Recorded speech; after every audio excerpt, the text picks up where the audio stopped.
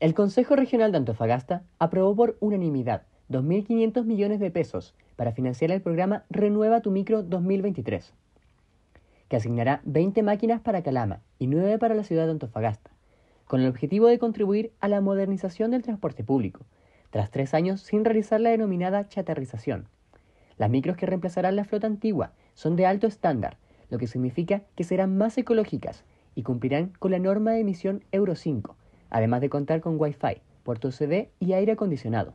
Estamos muy contentos el día de hoy porque estábamos dando un paso importante para transformar el transporte público en la región. Queremos subir el estándar de los buses que justamente mejora la experiencia de los usuarios. El día de hoy se han aprobado 2.500 millones de pesos que van en beneficio en primera instancia de la comuna de Calama, sin perjuicio de que eventualmente podamos realizar nuevos concursos para abarcar la comuna de Antofagasta. Pero Calama es muy importante porque justamente tienen un parque vehicular de transporte público muy antiguo, sabemos que existe un plan de descontaminación y estos buses vienen a elevar el estándar, subir la norma y la emisión de gases de efecto invernadero. Así es que agradecemos la disposición del Consejo Regional, de la Comisión de Transporte y también del Gobierno regional para generar un trabajo colaborativo. Esta priorización considera el retiro y destrucción del parque vehicular de una flota de 20 buses con una antigüedad promedio de 19 años, que van en mejora de las condiciones atmosféricas y aportando de manera directa al plan de descontaminación ambiental de la ciudad de Calama,